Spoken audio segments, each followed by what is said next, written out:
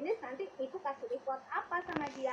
Oh kalau finish berarti nanti break time atau oh dia sukanya apa? Dia sukanya pegang-pegang bola boleh bola kecil-kecil. Oke ya tapi tapi ada ah, ini ya bu ada aturannya. Uh, makanya harus dikomunikasikan dengan pihak sekolah juga seperti itu supaya tidak ada minimalisasi lanjut Bu Tari membantu anak dalam interaksi sosial dengan peers tadi sudah saya